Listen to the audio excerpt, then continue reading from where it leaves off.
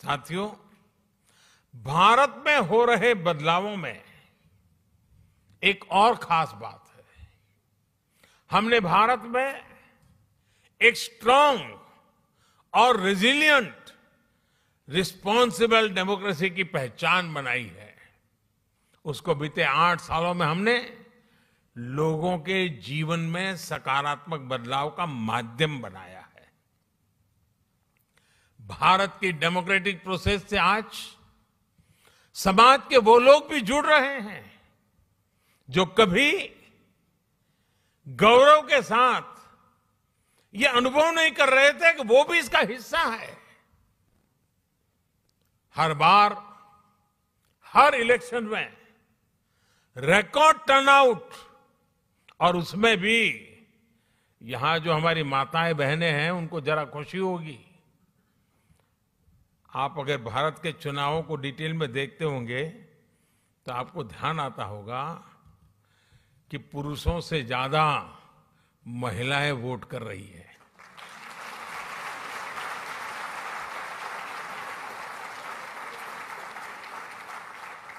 ये इस बात का प्रमाण है कि भारत में डेमोक्रेसी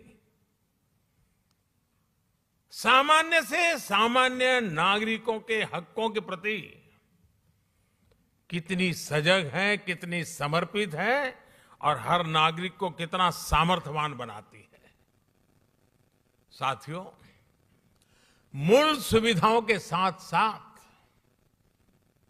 हम भारत के एस्पिरेशन को भी नई बुलंदी दे रहे हैं, नया आयाम दे रहे हैं। भारत में इंक्लूसिवनेस का लीकेज प्रूफ गवर्नेंस का। यानी एक ऐसी डिलीवरी व्यवस्था, टेक्नोलॉजी का भरपूर उपयोग करते हुए, एक ऐसे मैकेनिज्म को विस्तार किया जा रहा है ताकि जो जिस चीज़ का हकदार है, वो बिना मुसीबतें बिना कोई सिफारिश को, बिना कोई करप्शन किए अपने हक को प्राप्त कर सकता है और उसमें हम पूरी ताकत से जुटे हुए हैं।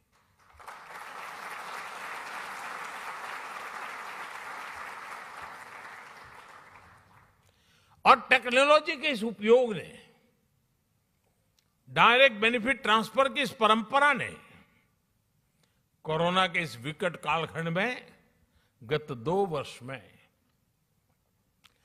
भारत की और खास करके भारत के दूर सुदूर गाँव में रहने वाले, जंगलों में रहने वाले, हमारे नागरिकों के हकों की बहुत बड़ी रक्षा की है, उनकी मदद की है।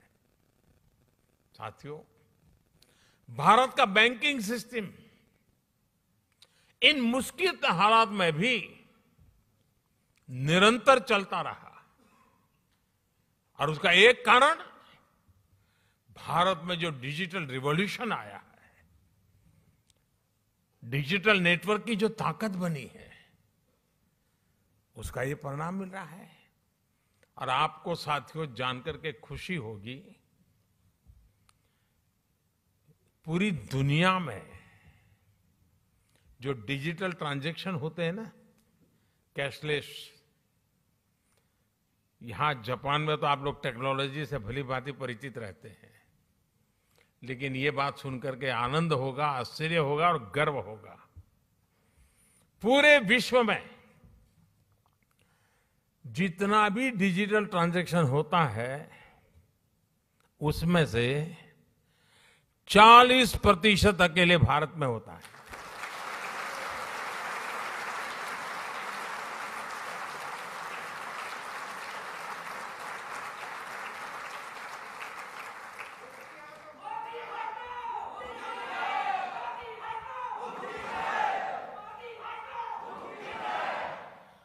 कोरोना के शुरुआती दिनों में जब सब बंद था,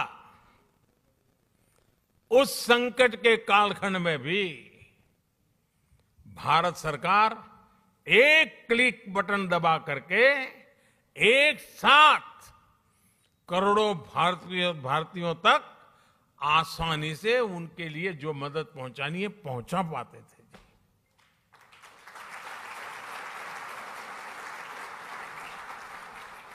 और जिसके लिए मदद तय थी, उसी को मिली, समय पर मिली, और इस संकट से जूझने का उसे सामर्थ्य भी मिला। भारत में आज सही मायने में पीपल लेड गवर्नेंस काम कर रही है। गवर्नेंस का यही मॉडल डिलीवरी को एफिशिएंट बना रहा है। यही डेमोक्रेसी पर निरंतर मज़बूत होते विश्वास का सबसे बड़ा कारण है।